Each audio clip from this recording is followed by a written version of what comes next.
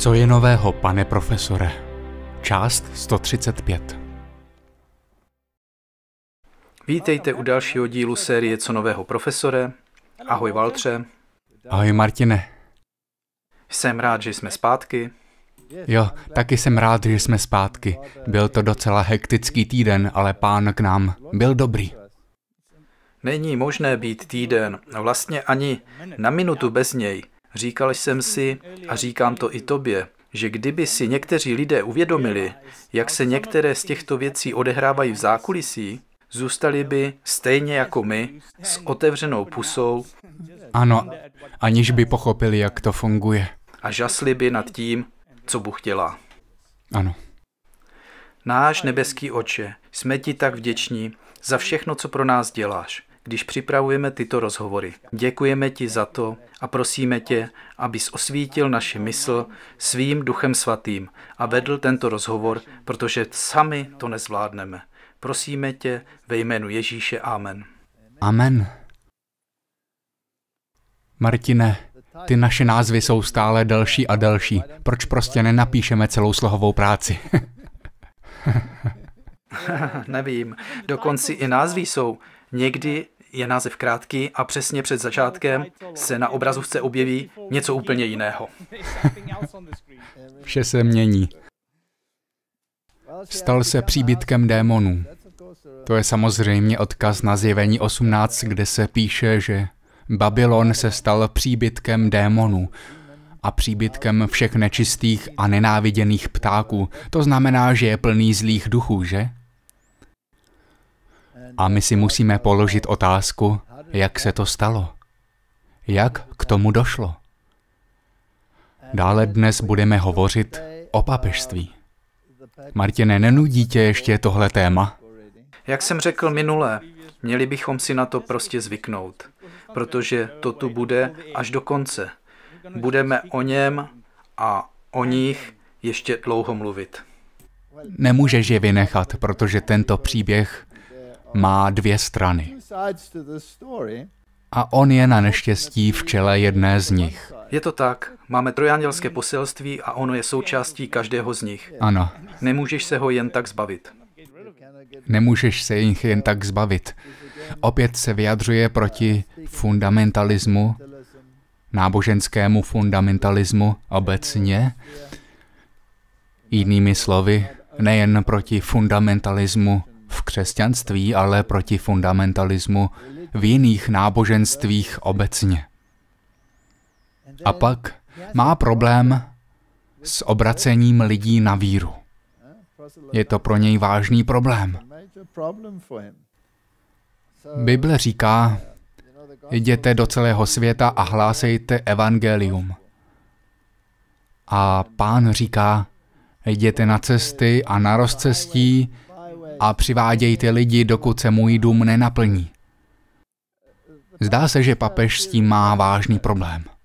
A to vytváří problém, protože pak vlastně Ježíše odsouváš stranou. A vytváříš příkaz, který je v rozporu s božím příkazem. Vzpomínáš si, co se stalo v Ježíšově době, když farizeové a preláti řekli učedníkům, v tomto jménu nesmíte kázat. Ano, přesně, přesně tak.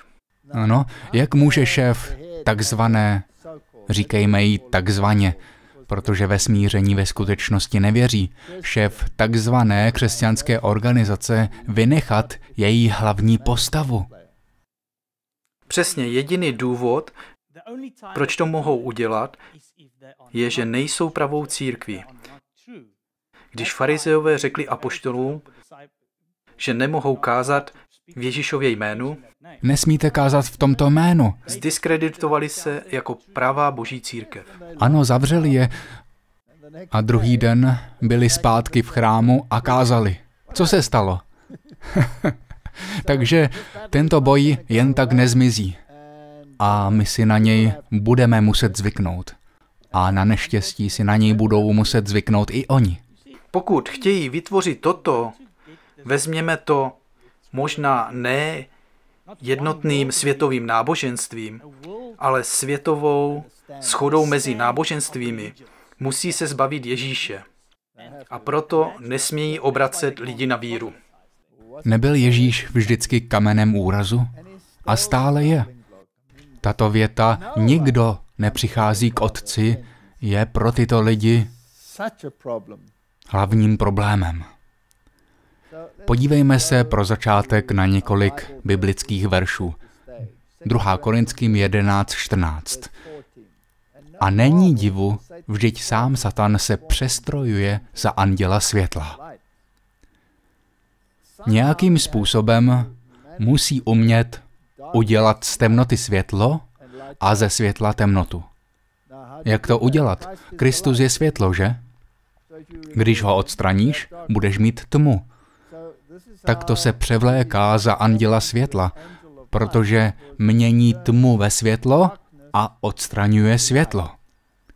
Takže jeho tma je jediným světlem, které zůstává. Úžasné. A víš co? Vrátíme se k tomu, co jsme řekli dříve. O dvou deskách desatera a o tom, že první deska byla ve vidění Ellen Whiteové více ozářena. Byla jasnější.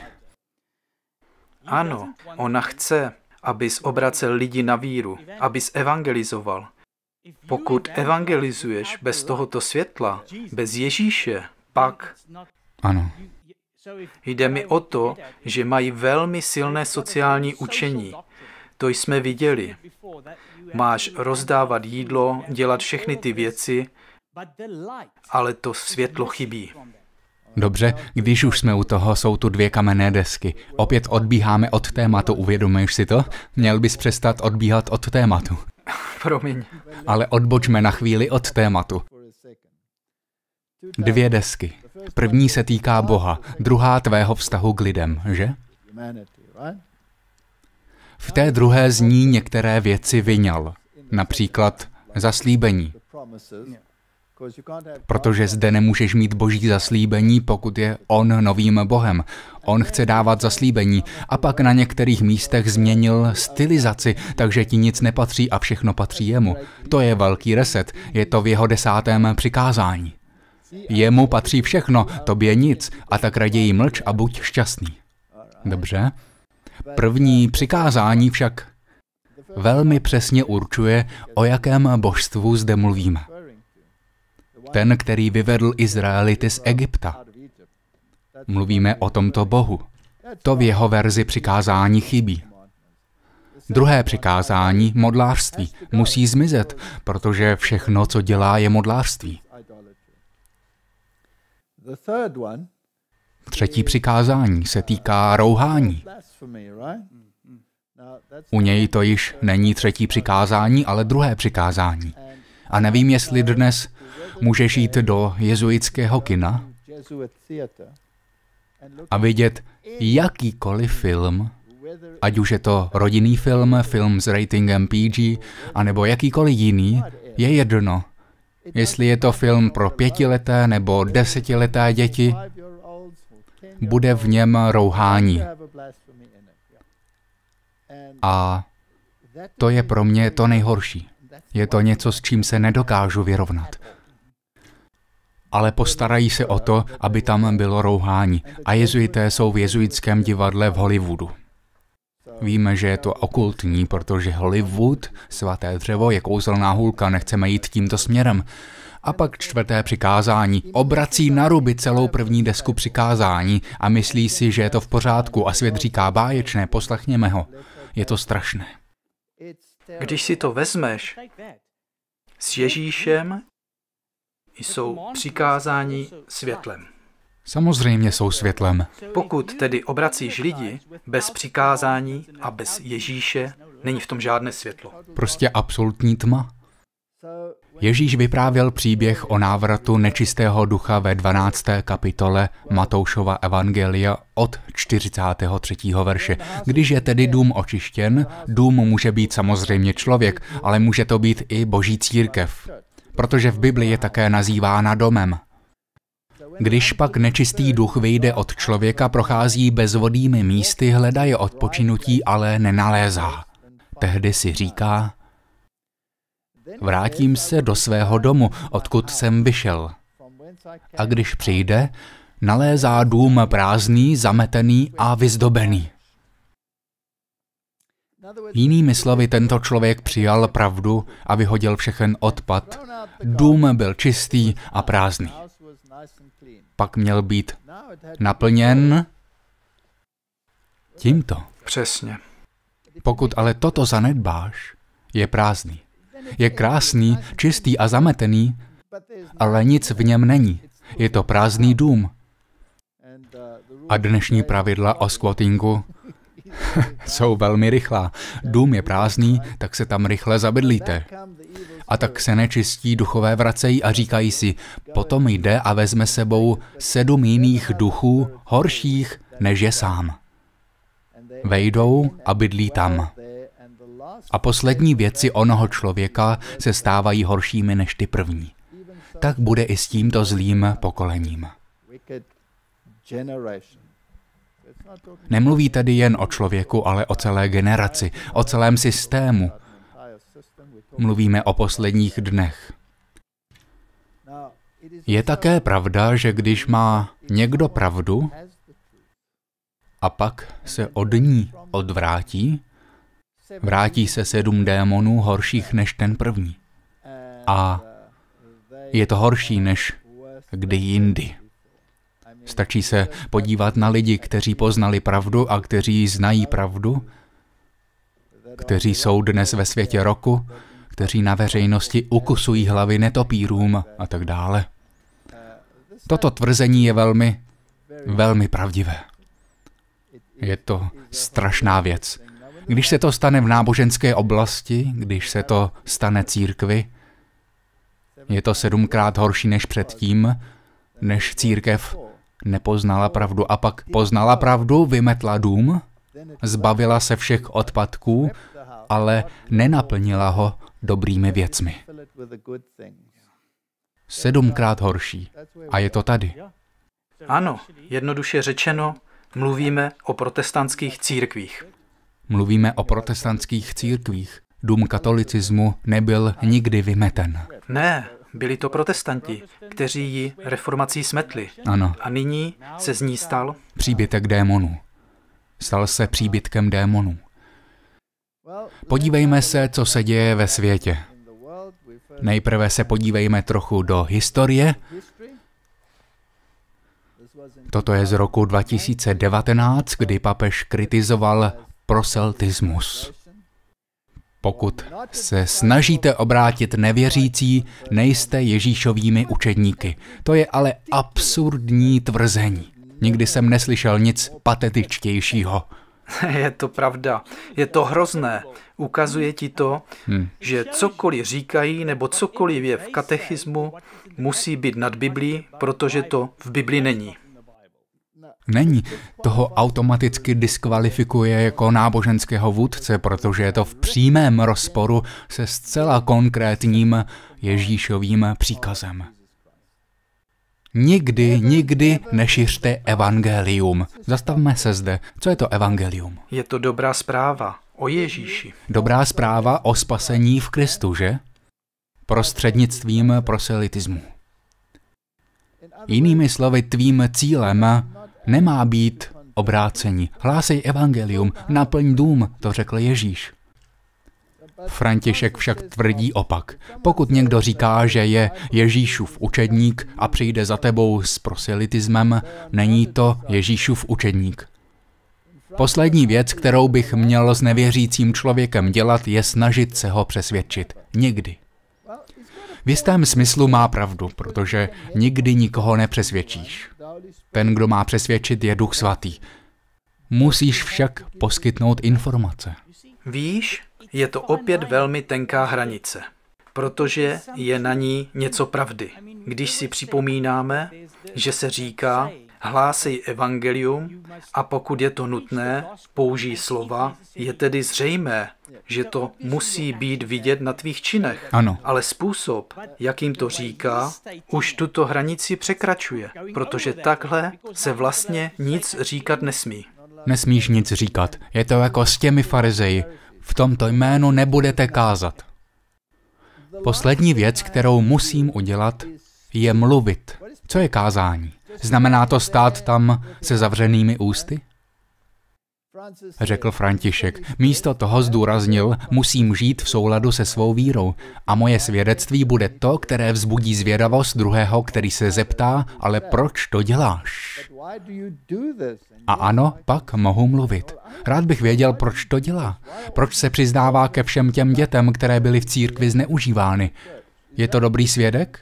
Ne, Nevydávejme se tímto směrem, nezačínejme se rozčilovat, buďme klidní a rozvážní. ale to, co říkáš, je pravda. V každém případě, tedy v praxi, nedělají to, co papež hlásá. Ne, A jak jsem řekl, je úžasné, jak chytře dokáží nebo on dokáže něco formulovat. ano, podívej se na všechny ty obrázky papežů.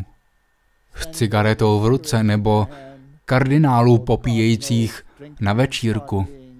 Je to dobrý křesťanský příklad?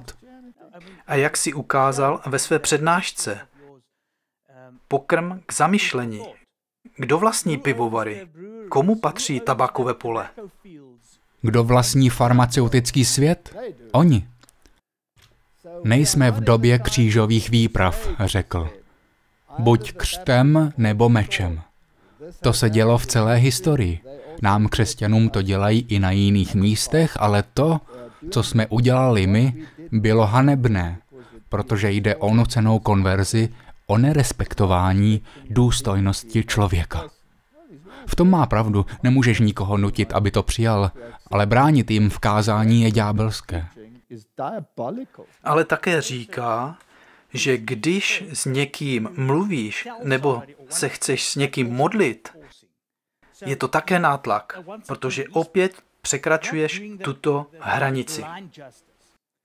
Martine, byl jsi ve světě. Pracoval si jako DJ a dělal si spoustu věcí. Hm, viděl jsi někoho, kdo se choval tak hezky a rozhodl ses, wow, už nebudu DJem, vzdám se všech těch věcí a stanu se křesťanem. Stalo se to? Ne, vůbec ne. Kázal ti někdo? Ano. O, to mě mrzí. A musel mi kázat Podle papeže se musím omluvit. pěkně nahlas. Vraťme se o rok zpět. Toto je stránka Catholic News Agency. Proselitismus versus evangelizace. Dnes je proselitismus téměř všeobecně považován za zlovolnou činnost, pokud jde o náboženské přesvědčení. Papež František několikrát důrazně odsoudil proselitismus. Řekl, není dovoleno, abyste je přesvědčovali o své víře. Proselitismus je nejsilnějším jedem proti ekumenické cestě. Má naprostou pravdu. Přesně tak. To je jádro věci. Uhodil hřebíček na hlavičku. Pokud chceš ekumenismus, pak nemůžeš používat jméno Ježíš, protože je to problém. Je to problém. Nemůžeš mít ekumenismus, pokud je v tom mixu Ježíš. A také nesmíš kázat učení. Doktríny, protože když budeš kázat učení, budeš mít válku. Dobře, takže toto je tvůj problém, pane papeži. Chceš jít ekumenickou cestou kompromisu mezi pravdou a omylem. Chceš sedět za jedním stolem s anděli i démony. Je mi líto, ale to nejde. Podobně papež řekl, proselitismus mezi křesťany je tedy sám o sobě těžkým hříchem. Myslím si, ne, raději bych neříkal, co si myslím. Ale kdybych to měl říct, je to forma demence. No, říká přesně to, co chce říct, protože tohle, pokud to lidé přijmou, nasměruje to úplně špatným směrem. A myslím, že problém je v tom, že spousta lidí, dokonce křesťanských denominací, s tím souhlasí. Ano. Buď je to demence, nebo je to démonické. Co si myslíš? Jiná možnost není. A také řekl, církev není fotbalový tým, který hledá fanoušky. Dobrá, Papež František se ve svých ostrých slovech zaměřil na moderní význam pojmu proselitismus. Tento význam zahrnuje použití jakéhokoliv druhu nátlaku k obrácení, ať už se jedná o nátlak morální, politický nebo ekonomický. S tím souhlasím, nemusíš používat nátlak, vlastně nesmíš používat nátlak, ale musíš kázat. Přesně. Nesmíš mlčet a musíš v tom být hlavní postava. Pokud není Ježíš v centru pozornosti, jak chceš lidi obracet? K čemu je potom obrátíš? Měl Petr nebo ostatní apoštolové božího ducha? Byli za to uvězněni? Byli připoutáni k vojákům na obou stranách, aby nemohli mluvit v tomto jménu? Byli zbyti, protože mluvili v tomto jménu? Ano. Přestali mluvit, protože s nimi bylo takto zacházeno? Ne. Je mi líto, papeži, ale pláčeš na špatném stromě. Najdi si jiný strom a vyplakej se na něm. Nic nového pod sluncem. 2021. Papež František varuje před kazateli, kteří způsobují rozdělení na internetu. A máme problém. Máme veliký problém, zejména proto, že řekl, že ani křesťané nesmějí proselitovat mezi jinými křesťany. Dobře. Papež František při středeční generální audienci varoval před kazateli, kteří na internetu šíří rozdělení a nedůvěru. Víš, Martine, nemyslím si, že šíříme nedůvěru. Předkládáme fakta a doufáme, že lidé díky tomu nebudou systému důvěřovat. Není nouze o kazatele, kteří mohou, zejména prostřednictvím nových komunikačních prostředků, narušovat společenství. Nepřišel jsem přinést mír, ale přináším meč. Jinými slovy, Ježíš přišel vyrušit komunity.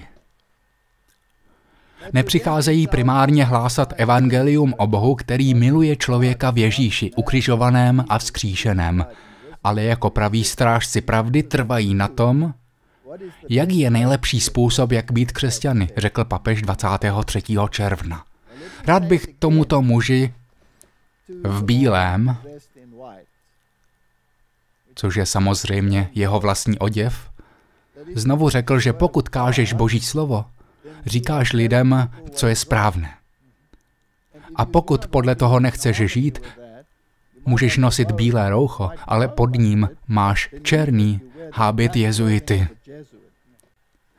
A důrazně tvrdí, že pravé křesťanství je to, kterého se drží oni, často stotožňované s určitými formami minulosti.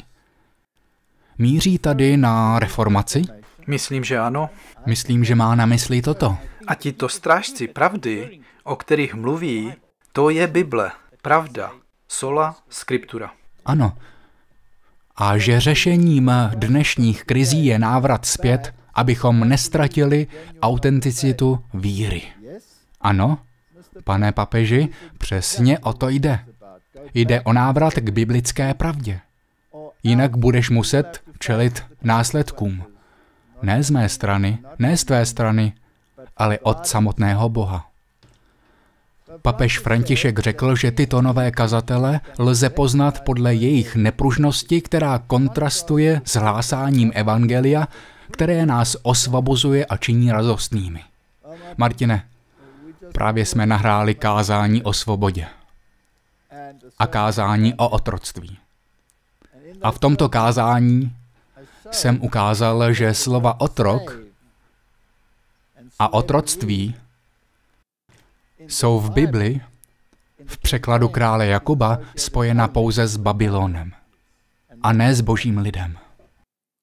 A myslím, že tato nepružnost, o které mluví, nejsou adventisté sedmého dne obvinováni z nepružnosti, protože chceme dodržovat boží přikázání? To říká Bible. Milujete-li mne, zachovávejte má přikázání. Nechci jeho přikázání. Řeknu to na rovinu. Byl jsem katolík. Byl jsem ateista, protože jsem byl katolík. Dává to smysl, Martine? ano, vlastně dává, protože jsou součástí Babylonu. Obě strany. Stal jsem se ateistou, protože jsem byl katolík.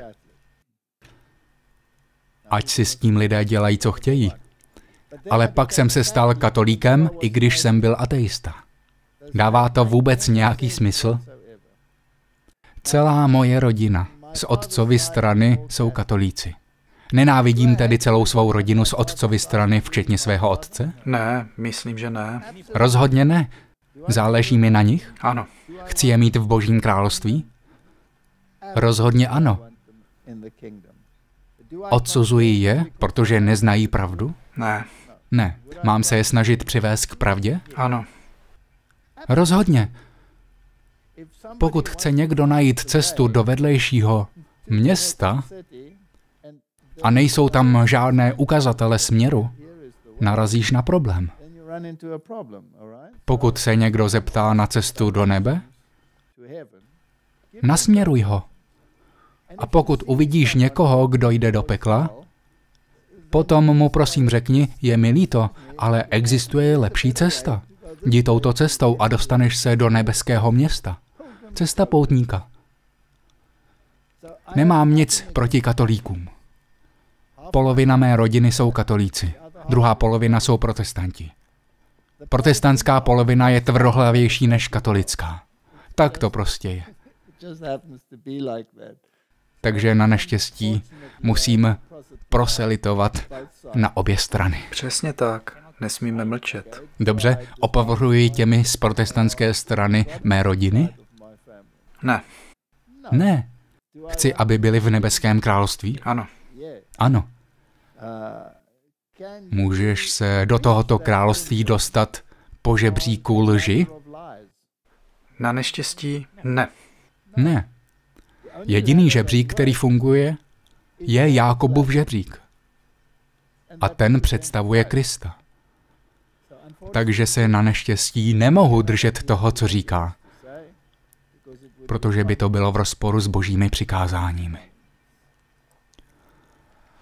Papež tvrdí i to, že noví kazatelé neví, co je pokora, co je bratrství. Nevědí, co je to bratrství. Bratrství je pro něj ekumenismus. Ale v širším slova smyslu, jak jsme nyní viděli v Kazachstánu. Ano, odstraněním Ježíše. Odstraňme Ježíše a přivítejme každého s otevřenou náručí. Je obrovský rozdíl mezi tím, když přijímáš lidi a říkáš, že každý je tvůj bližní. A mezi tím, když přijímáš omyl, kterému věří a děláš z něj pravdu. To je hrozná situace. Jinými slovy, nenávidí své bratry natolik, obrátím jeho slova, nenávidí své bratry natolik, že je rád nechá ve věčném omylu, který nikam nevede. Přesně tak, protože to, co říká, je přivede do zatracení. Přejdeme k dalšímu výroku. Tento článek je z časopisu Amerika. Papež František, náboženský fundamentalismus je mor. Je to choroba. Mezináboženský dialog je důležitým způsobem, jak čelit fundamentalistickým skupinám i nespravedlivému obvinování, že náboženství šíří rozdělení, řekl papež František. Promiň, ale co řekl Ježíš? Nepřišel jsem přinést pokoj, ale? Rozdělení. Takže osobou, která kdy způsobila největší rozdělení, je Ježíš Kristus. Je to nejrozporuplnější člověk, jaký kdy žil. Ale on je cesta, pravda a život. A nikdo nepřichází k otci jinak, než skrze něj. To je rozdělující. Papež to uznává. Jeho válka tedy na neštěstí není proti fundamentalistům, kteří věří každému slovu. Protože nejen chlebem živě člověk, ale z každého slova. Několik slov? Ne. Tak to vidí oni. Dobře, kolik slov bylo z nových překladů odstraněno? Stovky. Tisíce. Tisíce. Dobře, takže tu máme vážný, velmi vážný konflikt názorů. Musíme se mít na pozoru před fundamentalistickými skupinami. Každé náboženství má své vlastní. V Argentíně je několik fundamentalistických zákoutí, řekl. Fundamentalismus je mor a všechna náboženství mají fundamentalistické bratrance, řekl. Aby křesťané viděli nebezpečí fundamentalismu, musí se podle něj zamyslet také nad svou vlastní historií, včetně 30-leté války, která začala v roce 1618 jako konflikt mezi katolickými a protestantskými státy a masakru na den svatého Bartoloměje v roce 1572. Není zajímavé, jak zametá historii této církve pod koberec? Podle jeho definice je římskokatolická církev sama o sobě mnohem fundamentalističtější než protestantské církve. Ano, byli to vrazy, zabili miliony lidí a on to zametá pod koberec, jako by to neexistovalo. Víš co? Díky bohu za Švédsko. Protože Švédové se vměšovali do třicetileté války a pomohli Německu zastavit římskou tyranii. A teď je papež zatáhl zpět do ekumenismu Děti se vrátili k matce nevěstce a teď si myslí, že zapomeneme na Ježíše. Zapomeneme na válku založenou na písmu a budeme jen v bludném bratrstvu. A podívej se, jak to překrucuje. Pokaždé dává slovům jiný význam. Jak jsme viděli, proselitismus a fundamentalismus dostali nové významy, ale on to neříká. Nebude tvrdit, že tato slova dostala nový význam. Jen je použije a řekne, že by se to mělo dít. Obávám se, že boj mezi dobrem a zlem bude pokračovat až do zatroubení poslední polnice. Trocha historie by nás měla vyděsit, řekl papež. Ti, kdo necítí vnitřní strach, by se měli sami sebe zeptat proč. Je důležité ukázat, že my, věřící, jsme pro lidskou společnost faktorem míru.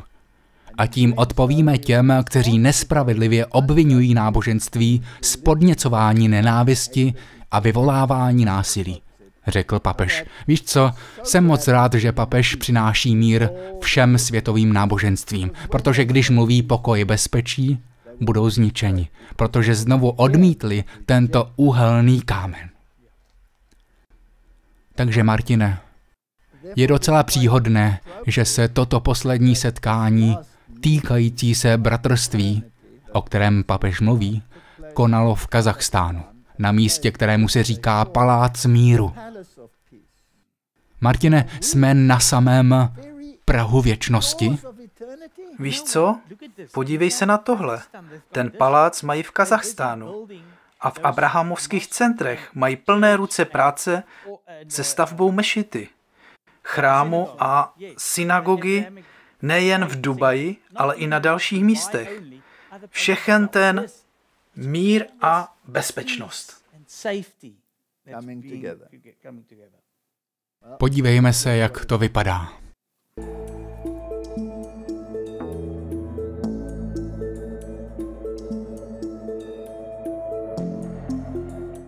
Palác míru a smíření, známý také jako Palác míru a zhody, je 62 metrů vysoká pyramida v Astáně, hlavním městě Kazachstánu, která slouží jako národní duchovní centrum bez vyznání a místo konání akcí.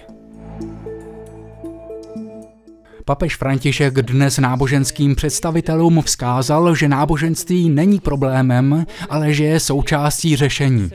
Řekl také, že v boji proti světovým krizím se musíme starat o druhé. Zdůraznil, že dokud se bude šířit nerovnost a nespravedlnost, věry neskončí, dokonce ani věry horší než COVID-19. Řekl, že Bůh je mír. Řekl, že každá lidská bytost je posvátná, ale každý den jsou kvůli lhostejnosti odstrkovány narozené i nenarozené děti, migranti a staří lidé.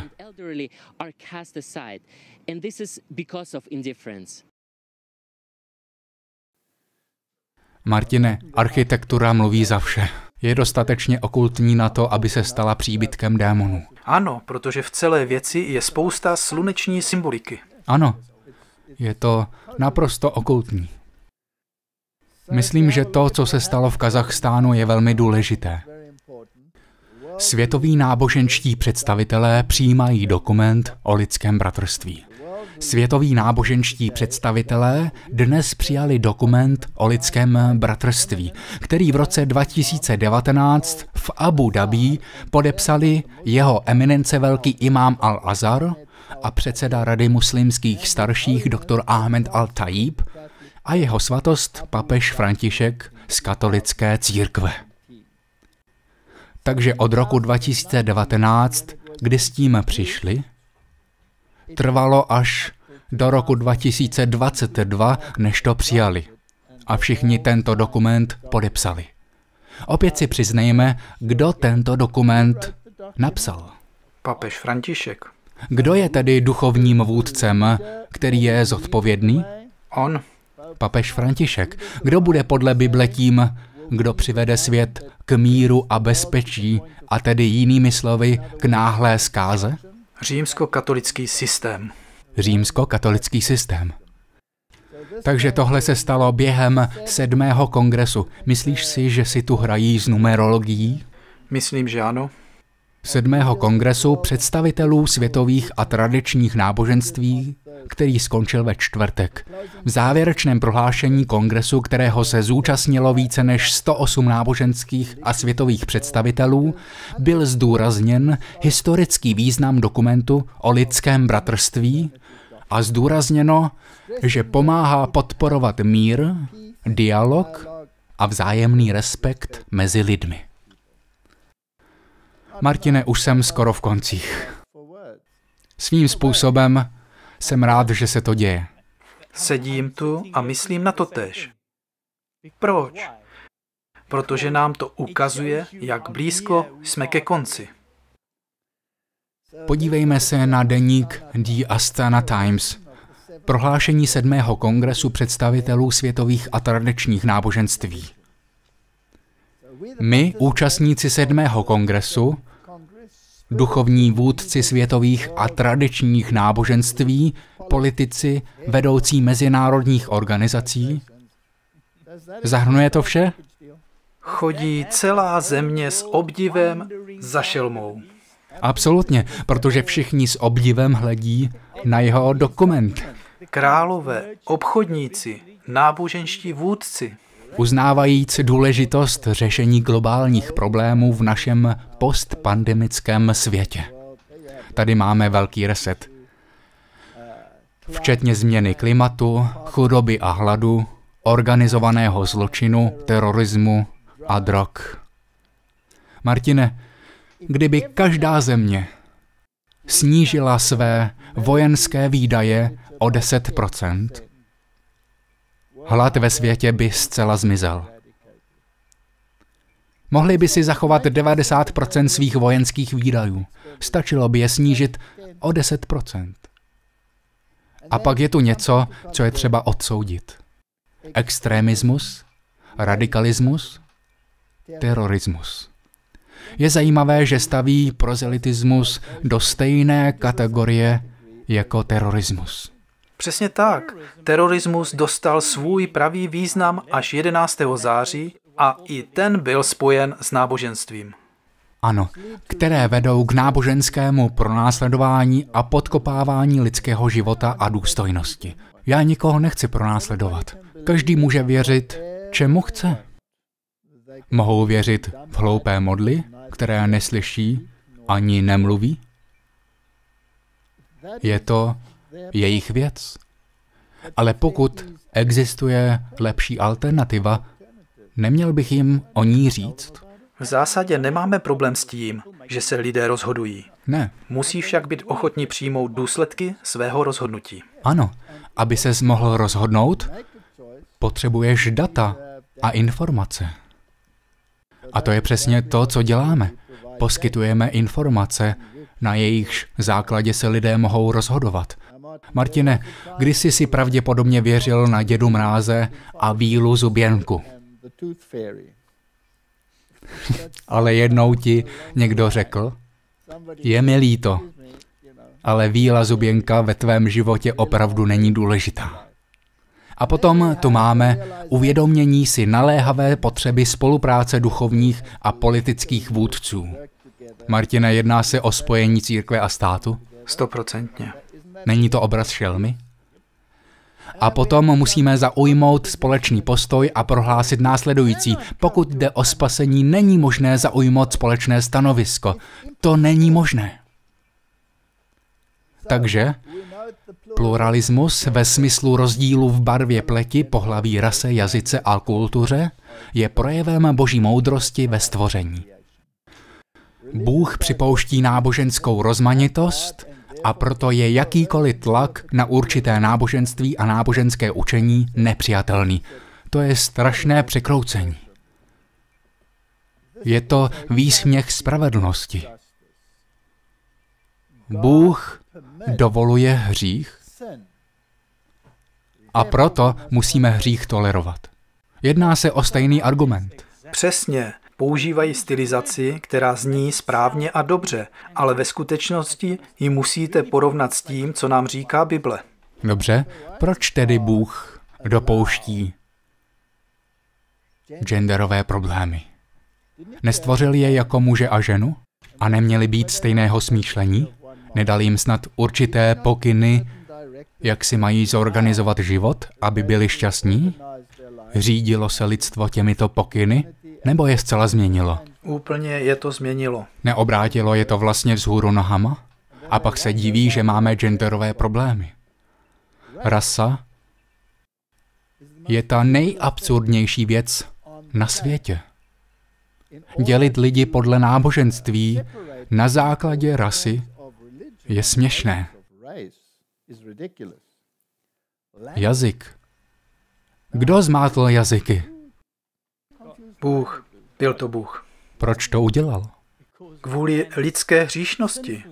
Protože člověk chtěl být jako Bůh. Dobře. Byli tedy sjednoceni v jazyku a proto byli také sjednoceni v odpadlictví. Bůh ve své moudrosti jazyky zmátl a tak se již nemohli spojit. Možná by ho začali hledat ve svých zkouškách a trápeních. Takže to, co máme nyní, je v podstatě totéž jako babylonská věž, protože tehdy ano. se zbavili Boha a nyní se snaží znovu zbavit Ježíše, aby se mohli sjednotit. Musí se ho zbavit. Kultura.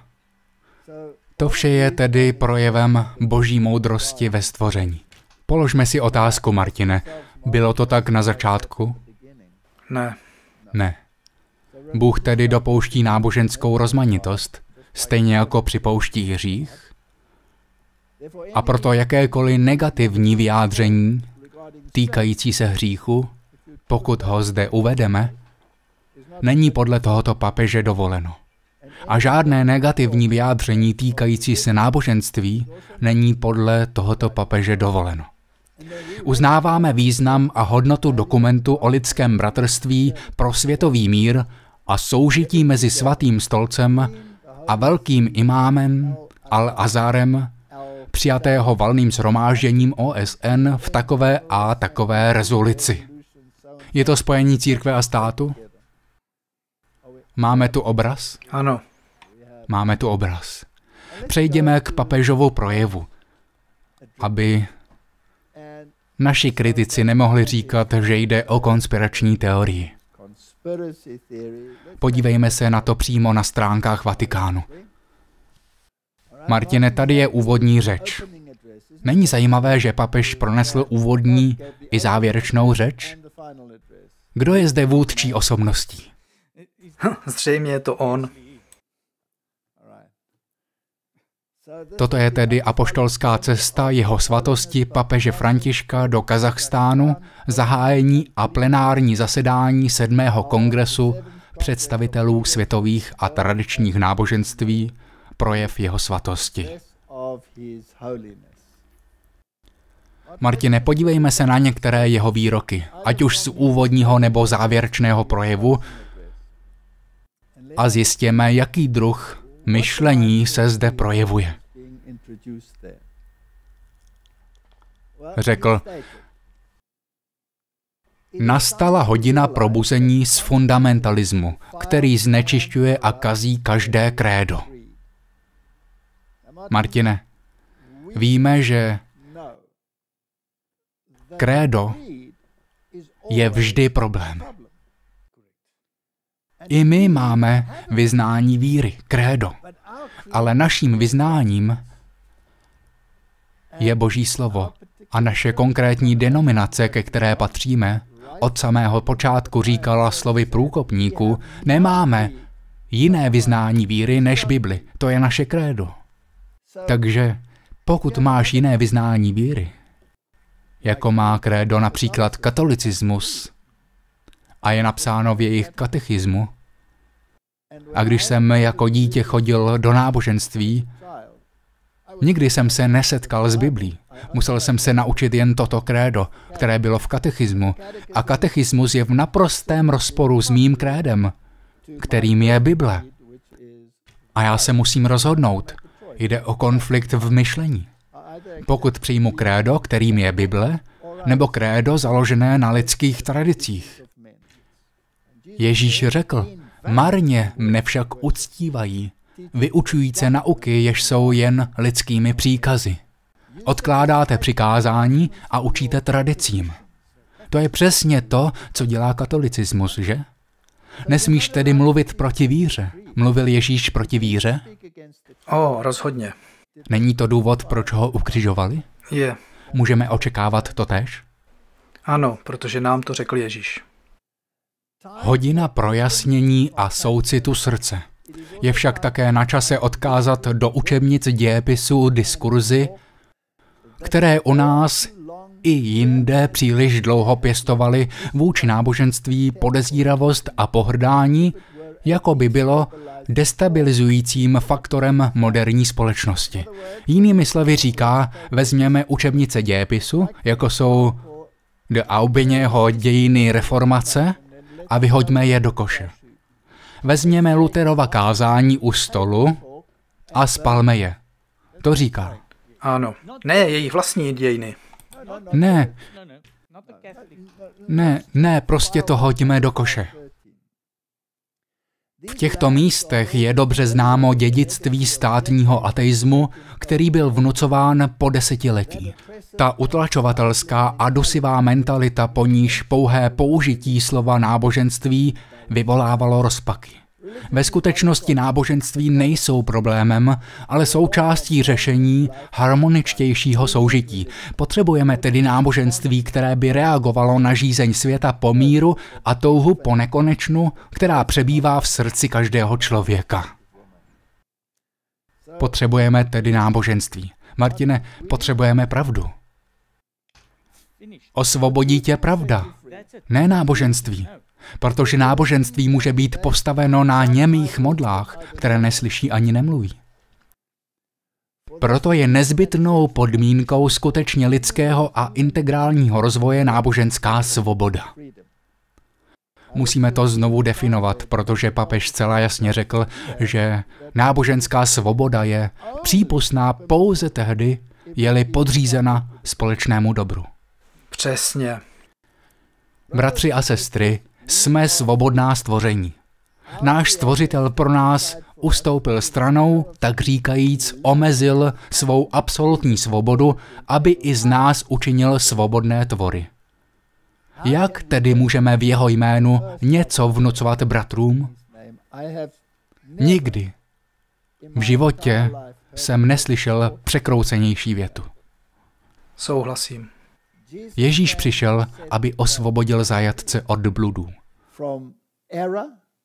tradic, samospravedlnosti a přestoupení božího zákona.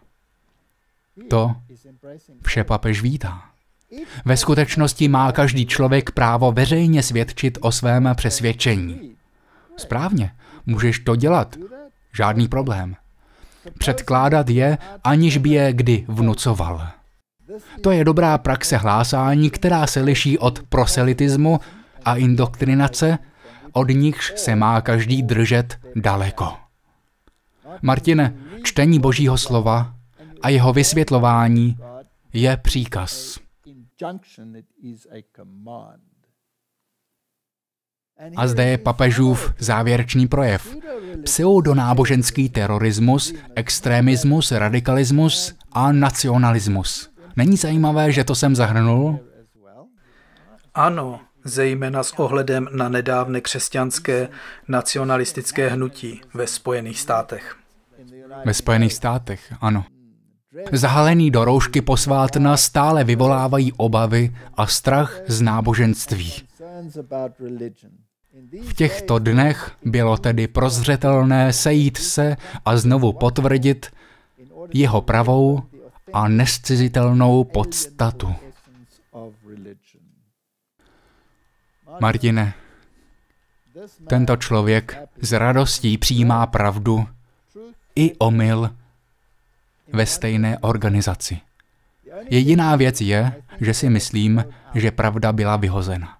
V žádném z těchto projevů nebylo ani jednou zmíněno jméno Ježíše Krista. Můžeš mít pravdu, můžeš mít cestu bez Krista? Ne. Toto je náboženství bez Krista. A bratrství. Nemůže to, přesně to je ten mír a bezpečí, který je založen na lži a nemá žádné opodstatnění. Ve stejném měsíci, kdy se konalo toto setkání v Kazachstánu a byl podepsán tento dokument o bratrství, papež František nařizuje vatikánským subjektům, aby do 30. září převedli všechny finanční prostředky do Vatikánské banky. To je zajímavé. Řekněme jen, že je to zajímavé. Nepokoušejme se o žádné předpovědi, ale je to zajímavé. Rozhodně se něco děje. Něco se vaří. Papež František povolil odposlouchávání telefonních hovorů v rámci vyšetřování finančního skandálu. Povolil odposlouchávání telefonu. Nixon byl za to též obžalován, ale u tohoto papeže všichni akceptují, že je to naprosto v pořádku. Zdá se, že dnes je to v pořádku, protože se to děje ve Spojených státech na všech úrovních. Je tolik snah o obžalobu za to či ono, za odposlechy. Zdá se, že je to normální. A když papež dává tak krásný křesťanský příklad, co můžeš čekat, že? Je to totéž a jak vidíš, nečeká na žádný soudní příkaz. I když mu soudce žádné povolení nedá, papiž říká, udělejte to. Začněte, udělejte to. Zde je další článek z 31. srpna 2022. Je z webu Vatican News. Papež, zažíváme třetí světovou válku. To je zajímavé, že? Jsme ve světové válce. A není to poprvé. Ne. Co řekl, je to zajímavá situace. Říká, už zažíváme třetí světovou válku. Ano. Možná ještě nejde o fyzickou válku, ale ekonomická válka už probíhá. Podívej se, co se děje ve světě. Pozornost celého světa se soustředí na to, co se děje. Jaderné hrozby, Putinovy hrozby použitím jaderných zbraní, Každý, kdo podporuje válku na Ukrajině a ohrožuje tak ruské vojáky, může očekávat odvetný úder, že? A nepřímé hrozby odvetného jaderného útoku. A svět se na všechny tyto věci dívá a oni mezi tím vytváří své struktury a všechno ostatní se hroutí, protože se všichni soustředí na válku. Myslí si, že za to pravděpodobně může válka.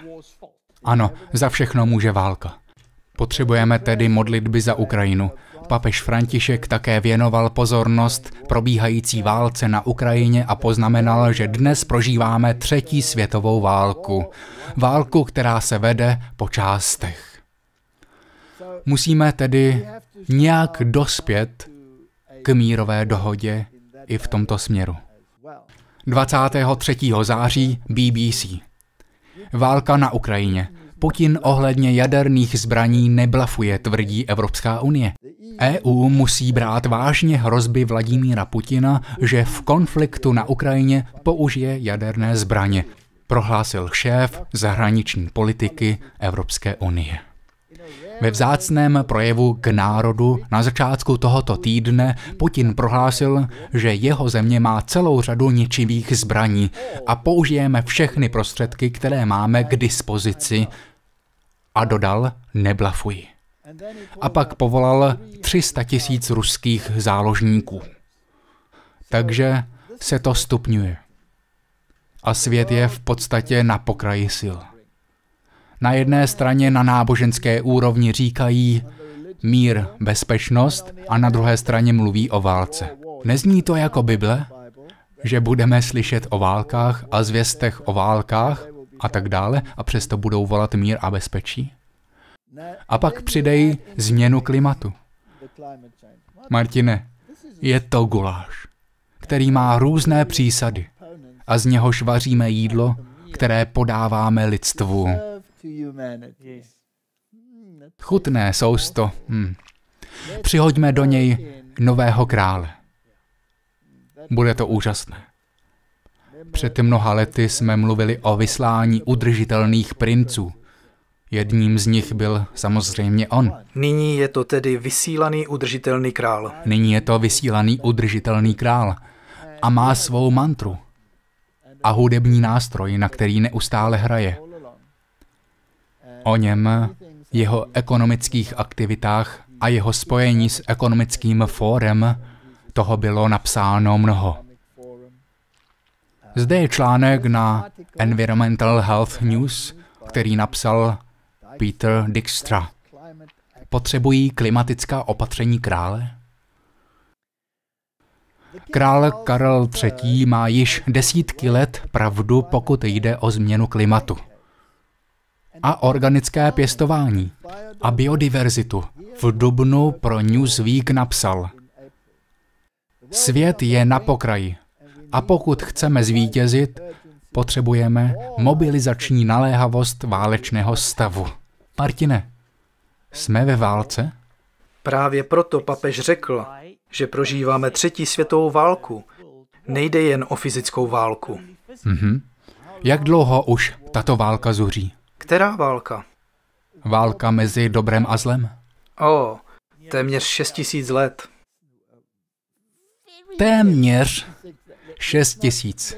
Nebudeme pokračovat, protože bychom mohli některé lidi dostat do úzkých, kdybychom pokračovali. Řekněme jen, že už jsme velmi blízko, ano? Svět je na pokraji, je ve stavu podobném válce. Možná bychom měli trochu naslouchat. Henrich VIII. zahájil 50 let trvající proces opuštění katolicismu a založení anglikánské církve. Trvalo dost dlouho, než se to podařilo zvrátit, že? Ano, máš na mysli? Toto opuštění katolicismu. 50 let na to, aby se z toho dostali. 50 let na to, aby se z toho dostali, a pak oxfordské hnutí, aby se k němu opět vrátili, a pak ekumenické hnutí, kterým to spečetili, a děti se vrátili k matce nevěstce. Ano, a pak jsou ti démoni zase zpátky. Pokud si tedy vyčistil dům, není zajímavé, že doslova vyčistili dům, odstranili sochy, odstranili oltáře, všechno to vyhodili jako bezcené, protože věděli, že je to podle písma bezcené, a pak to všechno prostřednictvím oxfordského hnutí a toho zrádce Newmana vrátili zpět do církve a Newman byl odměněn tím, že ho jmenovali kardinálem a pak svědcem. Není to neuvěřitelné? Udělali z něj světce, takže se vrátilo sedm démonů. Sedm démonů horších než ten první. stali se tak příbytkem démonů. Byl to silný, ale nedokonalý příklad britského panovníka, který jej založil. Moje polovážná poznámka. Jestliže Henry VIII. dokázal kvůli svému libidu obrátit monarchii na ruby, Karel se může trochu vyventilovat v existenciální otázce. Martine, nevím, jestli jsem teď nezbedný, ale při pohledu na Karlovu minulost mě napadá, jestli v jeho životních rozhodnutích nehrálo roli libido. Nechme to tak. O králi Karlovi III. je jedna velmi důležitá věc. Je historickou skutečností, že králové a královny museli být protestanty a že se jim říkalo obránci víry. Je to tak? Princ Charles je tím, kdo tuto tradici porušil a říká, že nechce být známý jako obhájce jedné konkrétní víry. Chce být známý jako obhájce víry obecně. Ano, vzpomínám si, že ho ukazovali v buddhistickém šatu. Obléká buddhistické oblečení a muslimské oblečení. Prezentuje se jako velký ekumenický náboženský vůdce, který přijímá všechna náboženství. On a Kazachstán se k sobě skvěle hodí. A zastupuje protestanty. A stali se Babylonem. Všechny jsou příbytkem démonů a všech nečistých a nenáviděných ptáků. Podívejme se tedy, jaká byla jeho role a jak zapadá do dění v Kazachstánu. Dnes se všichni těšíme, až nám jeho královská výsost poví o svém poslání pro soudržnější a udržitelnější svět. V roce 1215 položila Magna Charta základy všeobecných lidských práv. Jeden ze čtyř exemplářů je uložen v katedrále svaté Salisbury. Je na čase, aby byla přiznána univerzální práva nejen lidstvu, ale i přírodě. Vzájemná závislost mezi lidským zdravím a zdravím planety nebyla nikdy jasnější. Na začátku nového desetiletí je čas zaměřit se na budoucnost, kterou chceme budovat. V návaznosti na svou iniciativu pro udržitelné trhy proto zahajuji iniciativu Terra Charta jako základ plánu obnovy přírody lidí a planety. Magna Charta před více než 800 lety inspirovala víru v základní práva a svobody lidí. V době, kdy se snažíme představit si dalších 800 let lidského pokroku, jsou základní práva a hodnota přírody jádrem Terra Charta. Vyzývám generální ředitele na celém světě, aby se zapojili a podíleli se na vedení globální transformace. Abychom si zajistili budoucnost, nemáme na výběr. Gratuluji vám k velkému úspěchu v boji za životní prostředí.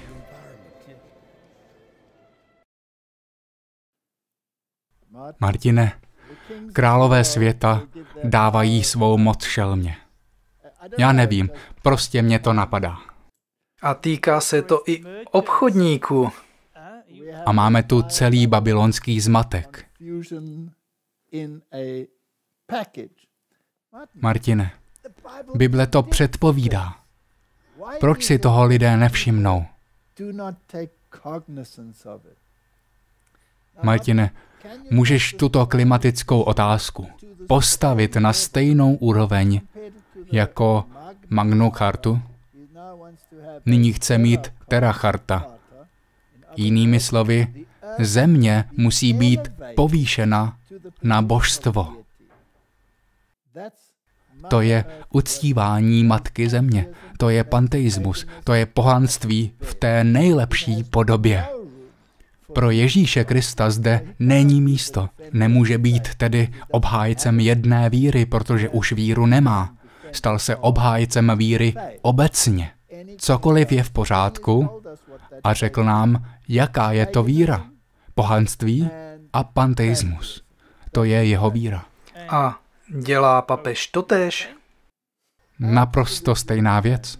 Zbožňuje Pačamamu. Podívejme se, jak náboženské to může být. Návrat na Sinaj. Prorocká výzva ke klimatické spravedlnosti a obřad pokání neděle 13. listopadu 2022 Hora Sinaj současně s konferencí OSN o klimatu COP27. Martine, spojí se církev a stát v této klimatické věci? Stále více a více. A to vše se odehraje v roce 2022. Spěchají. Poslední události se odehrají velmi rychle. Velmi rychle. Ve dnech 6.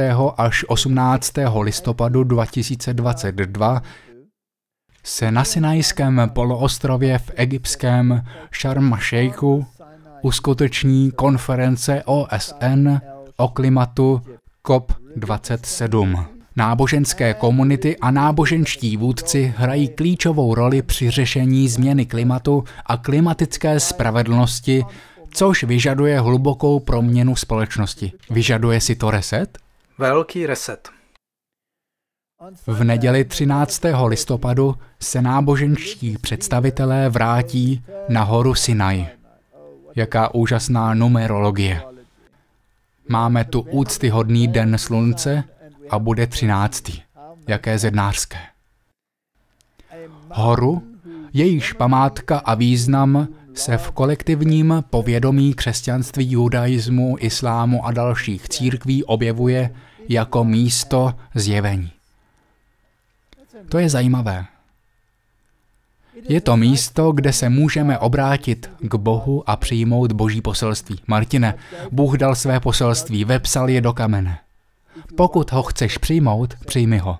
Je to základ jeho vlády v nebi. Ale teď chtějí nové poselství, že? To je ten problém, protože Bůh se nemění. Je neměný. Bylo to vytesáno do kamene a napsáno pro nás v Bibli. Podívejme se, co chtějí tito uctívači země udělat. Vracíme se na Sinai s pokáním a hledáním. Hledáme novou vizi lidstva. Ta stará není dost dobrá, Martine? one's not good enough, Martin? No. A jeho ohroženou existenci a snažíme se přijmout a rozšířit životodárné poselství a zvyky, které lidstvo dnes potřebuje slyšet. V tomto duchu partneři projektu shromáždí přední náboženské představitele hlavních světových náboženství na hoře Sinaj, aby se zúčastnili historicky prvního obřadu pokání za klima a představili prorockou mezináboženskou výzvu k akci s názvem Klimatická spravedlnost, deset univerzálních přikázání. Deset nových přikázání. Já to považuji za rouhání. Martine, raději se držím božích přikázání, která změnili nebo úplně zrušili, stejně jako mnozí protestanté. Vyčistili dům od všech těch dobrých věcí a dostali sedm démonů horších než ten první. Když se podíváš na tento scénář, Bůh povolal Izraelity na tuto horu, aby s nimi uzavřel smlouvu. Tito lidé vystoupí na tuto horu a budou požadovat svých deset přikázání. Musí si je vytvořit sami. Dobře? Podívali jsme se na jednu stranu. Žijeme vlastně v nesmírně zajímavé době. Protože na jedné straně máme tohle všechno a na druhé straně je tu hnutí, které se snaží vrátit náboženství do politiky v křesťanském prostředí Spojených států. A nějak se to spojí v tom guláši, který vaří. V této americké situaci se hovoří o změně ústavy. Hovoří se o zavedení křesťanských pravidel a předpisů. Jak jsme však již viděli, tato křesťanská pravidla a předpisy nebudou biblické, ale papežské. V podvodu je podvod. A pak musí dojít ke spojení různých náboženských systémů, židovského a křesťanského, a to se stává velmi zajímavým. Poslechněme si, co k tomu říká Jonathan Kahn, kde se nacházíme v toku času a co se podle něj stane. A nezapomeňme, že tento muž se prakticky nazývá prorokem, protože neustále říká, Bůh mi ukázal. A pak píše. Ve zkratce, neřeknu všechno, ale alespoň získáte představu. Tento svět byl před evangeliem plný bohů a Bible říká, že za bohy jsou duchové. Když přišel Mesiáš, vyhnal, protože měl moc vyhánět duchy. Evangelium přišlo do západní civilizace, do římské říše a doslova vyhnalo bohy, vyhnalo duchy. Největší exorcismus v dějinách lidstva, žijeme v jedinečné civilizaci. Právě to jí činí jedinečnou, ale nebudu to rozebírat, ale Mesiáš Ježíš nás varoval, že pokud se někdy odvrátíme, pokud se civilizace odvrátí od Boha poté, co byla očištěna a poznala Boha, pokud se odvrátí od Evangelia, duchové se vrátí, bohové se vrátí do svého prázdného domu. A přesně toho jsme nyní svědky. Od počátku 60. let jsme byli svědky bodu zlomu, kdy jsme začali Boha vyhánět. Tento dům nezůstane prázdný a je zarážející, že stejní bohové, kteří tam byli, duchové, kteří jsou v Bibli představováni těmito bohy, se nyní s pádem starověkého Izraele vrátili na svět, do Ameriky a západních civilizací. Stalo se to Izraeli, teď se to děje v Americe. Když se podíváš na dobu, kdy se Amerika začala odvracet, kdy se Západ začal odvracet, tehdy se začala vracet všechna znamení těchto konkrétních bohů a já vám vlastně mohu říci, o jaké bohy se jedná. Stejní bohové, kteří tu byli, když se Izrael odvrátil, jsou ti samí bohové, kteří se vrátili. Stejní duchové, kteří jsou právě teď v Americe a v celé temné trojici.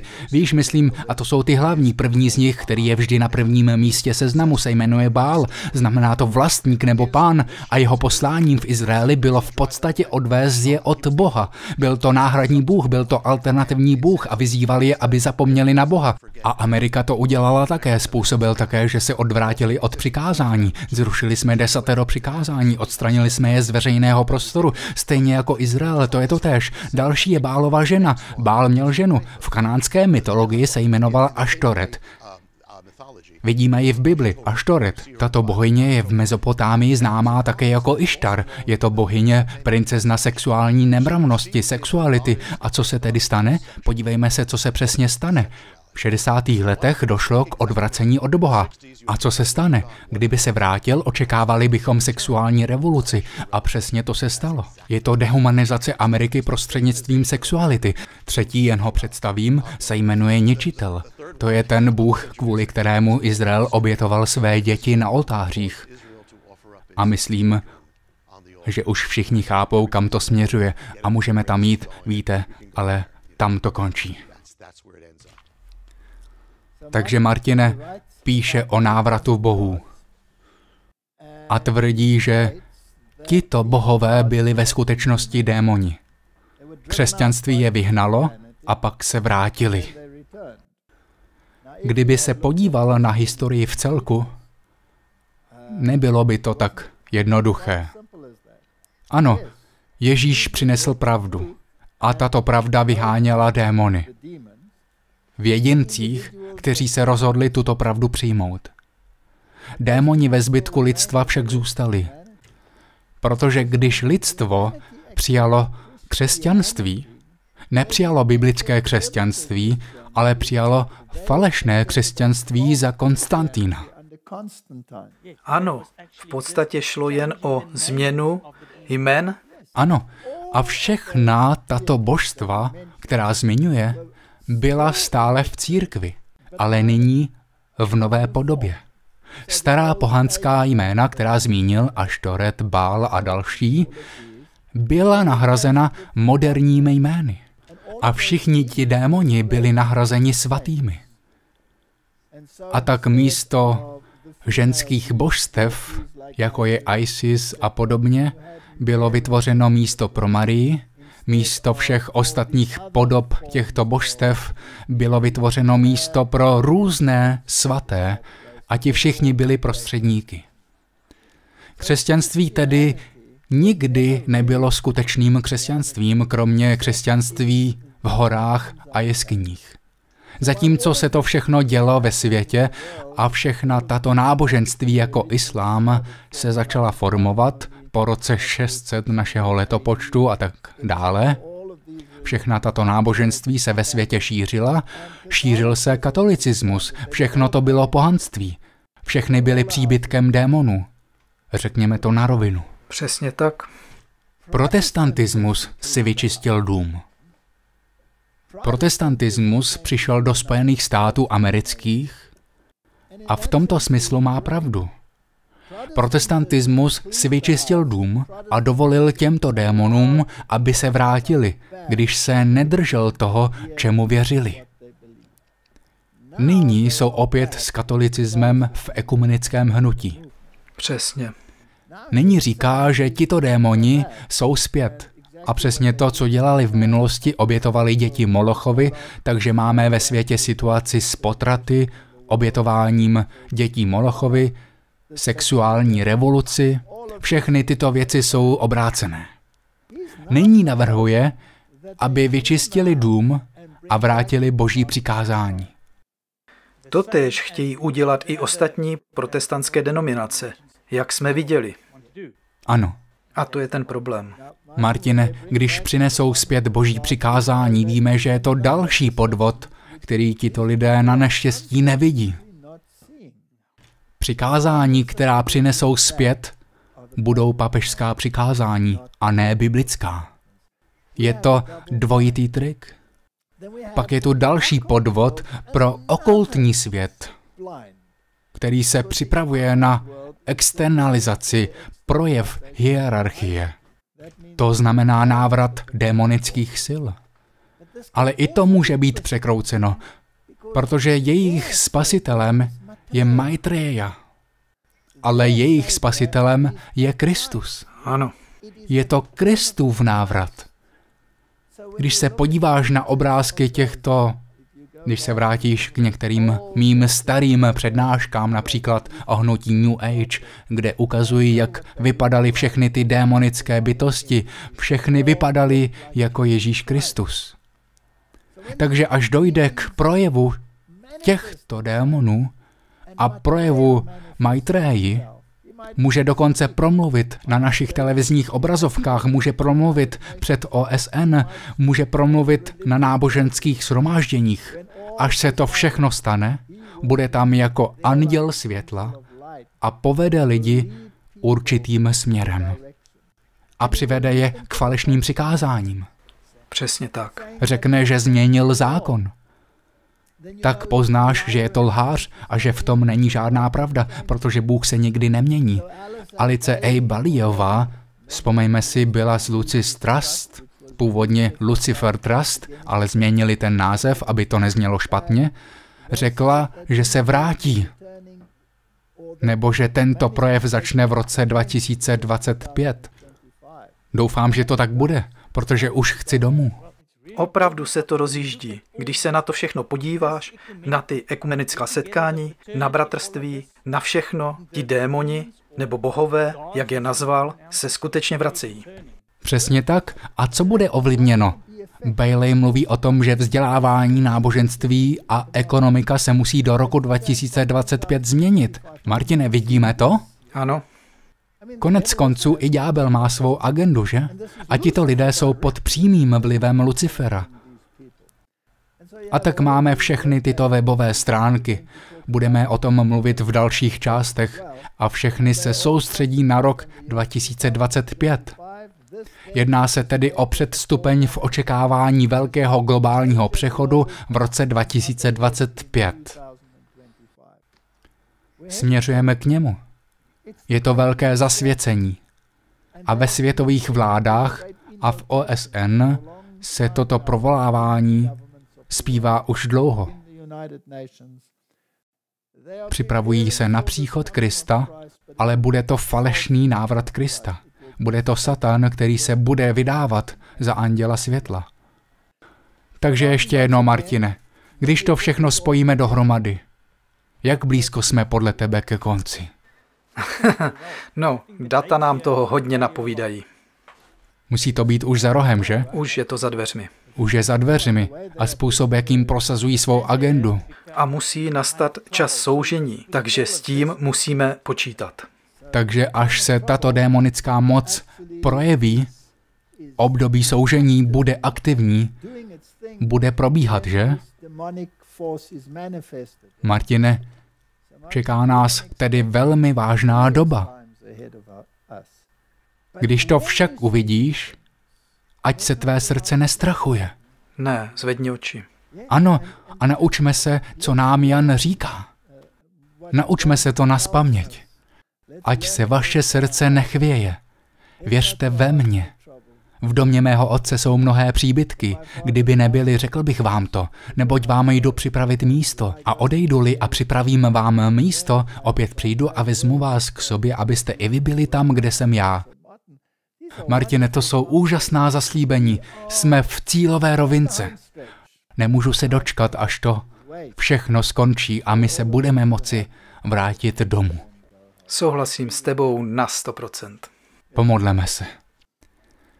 Milující nebeský Otče, jaké ohromné události se odehrávají před našima očima. Pozornost lidí je odváděna válkami a zvěstmi o válkách, hrozbami a strachem, hospodářskými krachy a krachy bank a všemi těmito věcmi, aby ďábel mohl uskutečnit svůj plán. Pomoz nám nahlédnout za oponu, zvednout hlavu a vidět, že naše vykoupení je blízko. To je moje modlitba ve jménu Ježíše. Amen. Amen.